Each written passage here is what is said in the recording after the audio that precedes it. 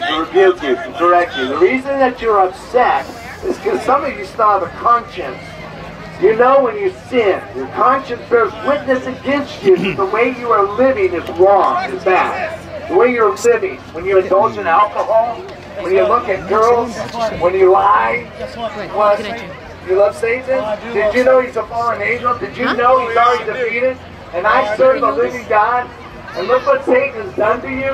Are you not concerned what he has done to you? You serve the devil who has come to steal, kill, and destroy you. And I serve the living God, Jesus Christ, who has given me life and life more abundantly. You are living a selfish, self-centered lifestyle to gratify your flesh, to indulge in the flesh, indulging in your appetites, indulging in your nature to try to satisfy this longing within you because you're bored, you're lonely, you're insecure. The life that you live is empty. Empty. You have no hope, you have no future, you have no destiny. And the way you live is of the devil. The way you dress is of the devil. If you drink, you lie, you do things that are ungodly, unholy. And what do you do? You suppress the pain. You suppress the wound, the emptiness of this life. Now, what is life? Sex, drugs, and rock and roll, huh? And then you die and you burn in hell. You're miserable. You're miserable inside. Oh, when you're all together, you all shout and scream. Oh, I know when you're all alone, you have no rest. You have no peace. The lonely. Yes, I do. The Bible reveals the nature of man. The Bible reveals that the wicked have no peace. The wicked are never satisfied. They're never fulfilled. They never have joy. They never have hope. You don't have anything. You have nothing in your life. You're overweight. You have nothing in your life, man. Yeah, you do that which is wicked in the sight of God, and God is willing to forgive you. God is willing to cleanse you. God is willing to set you free, but you continue to live in rebellion. And now you're going to reap the consequences of your sin, your rebellion, your anarchy. Oh, you need to humble yourself. Humble yourself. Don't be so prideful. Don't mock God. Don't laugh at God. Don't ridicule God. God has ears. He hears. The eyes of the Lord are watching. God's in full control. You have no rights. God is the one. Submit to Him. Obey Him. You're what is right. I hope you That's real. That's real. Can you hear me? With this megaphone! They can hear me praise by hear my megaphone! Come on, let me do it! Let me do the Jesus! I want Jesus! Hey, at least that's not a Jesus! No, you smell like liquor, buddy. You got way too much Jesus booze drinks! in you, man. Jesus drinks! Jesus drinks all the time! Jesus drinks all the time! No, he did not. He's Yes, not he did! I saw it! He loves You wine! didn't see it. I'm not an He's not alcoholic! a wino. Are you have calling an me alcoholic? No, you have an What the hell? I can't drink! Oh my god! No, you should go to God. Be Jesus? filled. God Jesus, says, do not be drunk with wine, but be filled with the Holy Spirit. Let Be me filled with God, and you have joy. You have peace. You have I love satisfaction. Jesus! If you don't love Jesus, then obey I Him. love Jesus. See, see, see?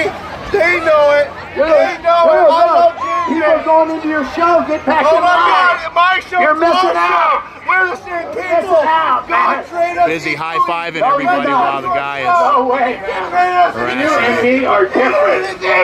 We are not We are like you. citizens. I am not like you at all. No, we are Not the even same. close, man. are not. We're not the same in anything. Are we You serve the devil, I serve the living God. You serve the devil, I serve Jesus Christ. I obey Jesus, he obeys the devil. I walk in righteousness, he walks in wickedness.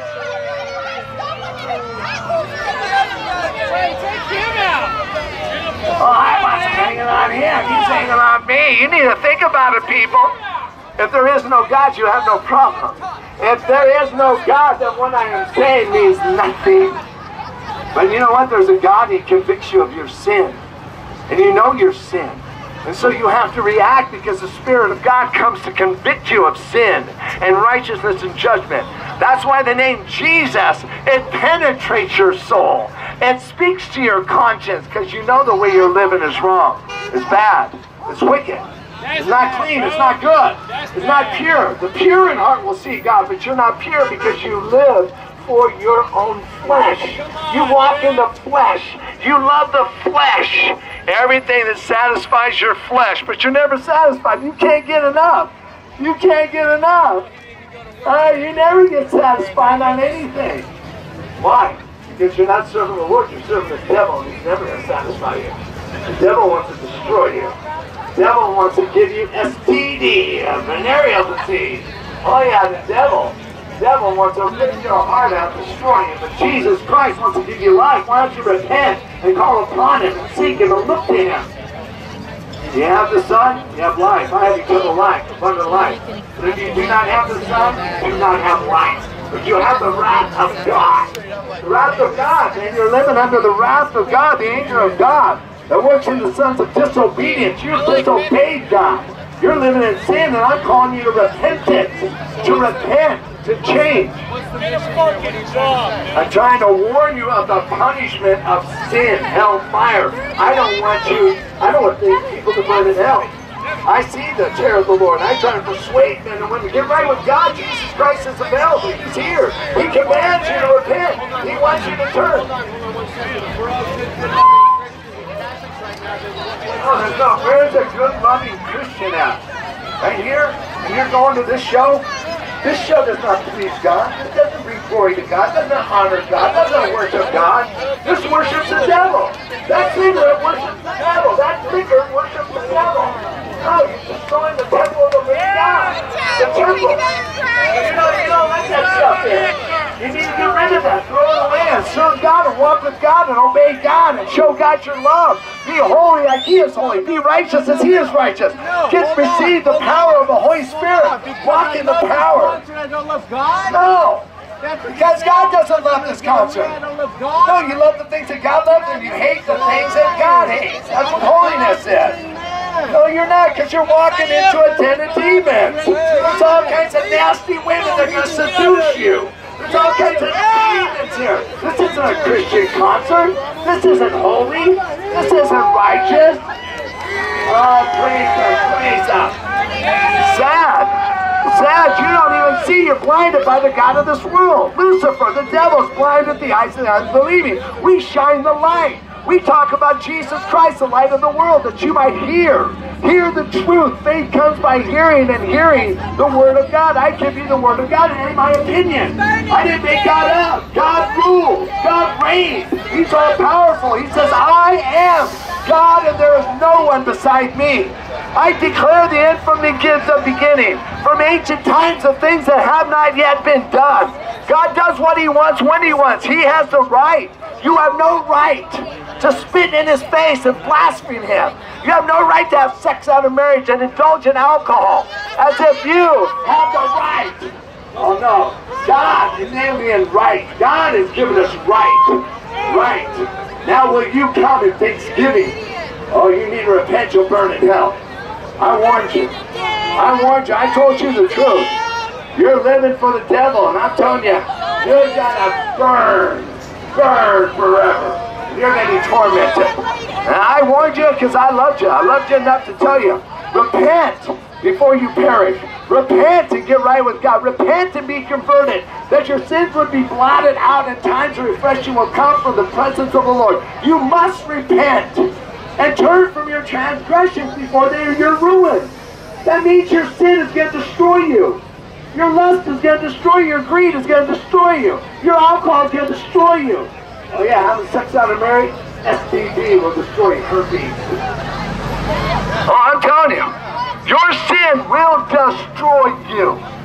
If you continue to sin against God and rebel against God and dishonor God and give no thanks to Jesus Christ who died and suffered for you, laid down his life for you, showed you his love, while yet you were a sinner, oh, Jesus Christ. He's not willing that any of you perish, but all come to repentance. Jesus Christ is not willing that any of you suffer in hell. Turn back, turn back. Why will you die? You'll die because you chose to die. You died because you loved your sin. Oh, you loved your pleasure. You loved your entertainment. You loved everything that offended God. But you're never satisfied. You can't get enough. There's always something, huh? Always something distracts your guilty conscience.